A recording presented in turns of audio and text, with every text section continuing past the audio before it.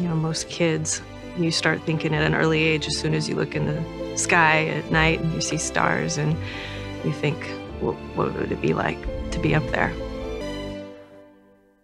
Definitely look up and, and see the stars like you have never seen them before. I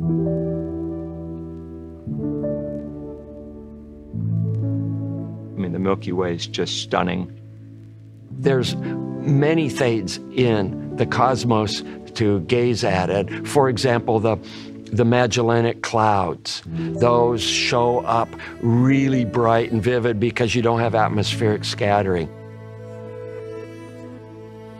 You can see Andromeda, the spiral galaxy of Andromeda.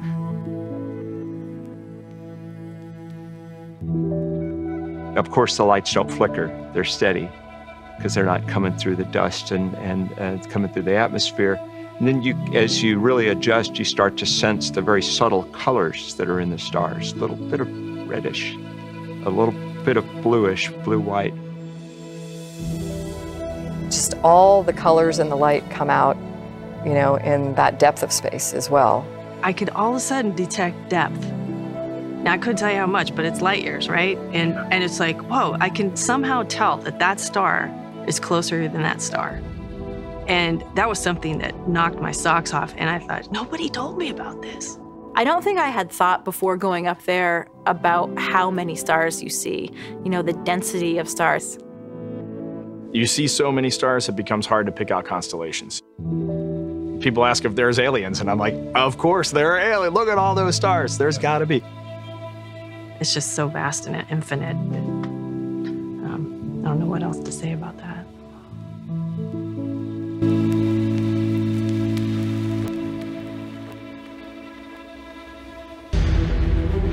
Finally, it's launch day. Launching to space, of course, was a momentous experience. You see that this rocket is a living, breathing beast. The thing is alive and it wants to go. It, it suddenly feels like it's real. First thing, you know, you're strapped into the space shuttle on the launch pad and and I can say sitting in the rocket getting ready for launch, you're anxious and you're excited. And waiting for countdown, uh, focusing and doing your checklist, focusing on your procedure. At the moment of launch, you're quite prepared.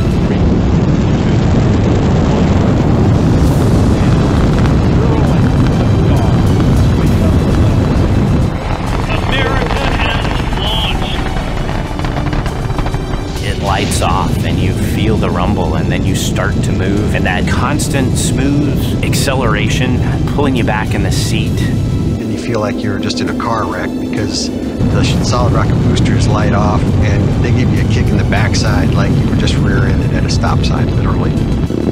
There's just nothing subtle or nice about it. It was the vibration the pressure the acceleration the, the pressure in your seat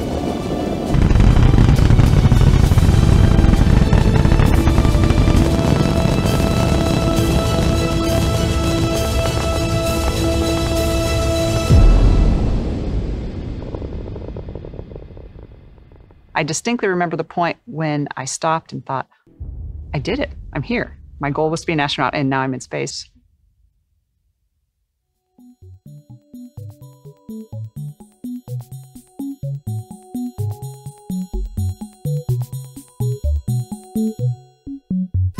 Um, as a kid, you maybe fantasize about spreading your arms and flying among the clouds and that kind of stuff. That's what we're doing.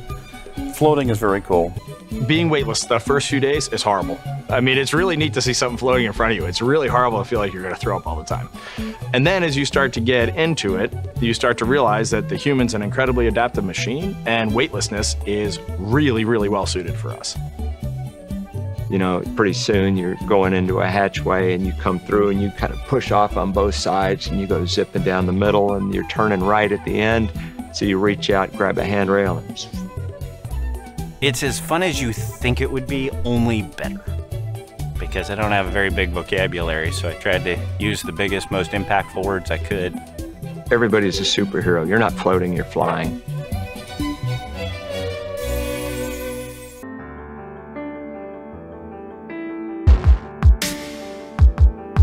It's about a day to get to the International Space Station. It's about a week to get to the moon, but it's over a year to get to Mars. But if you were on your two and a half to three year trip to Mars and back, one of the other important missions of the International Space Station is to be a proving ground for our technology to go into deep space.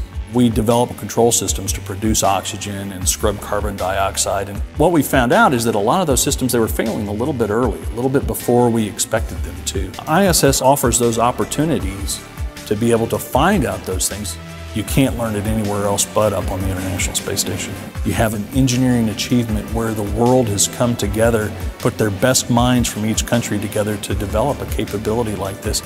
We'll use those systems and technology that we developed during the International Space Station program for deeper and deeper space activities. How do scientists and engineers communicate with faraway robotic spacecraft exploring our solar system? When scientists and engineers want to send commands to a spacecraft, they turn to the Deep Space Network, NASA's international array of giant radio antennas used to communicate with spacecraft at the moon and beyond. Operators at the Deep Space Network take commands, break them into digital bits, precisely aim these big antennas at the spacecraft, and send those commands to the spacecraft using radio waves. But what are radio waves really? Well, to start with, you probably already know they're part of the electromagnetic spectrum, which includes other kinds of waves and light that you're familiar with. Electromagnetic energy is a type of energy that can travel through space as waves that have different properties, depending on the size and spacing of the waves. These waves span a broad spectrum, from very long radio waves to very short gamma rays. The human eye can detect only a small portion of this spectrum, which is why it's called visible light.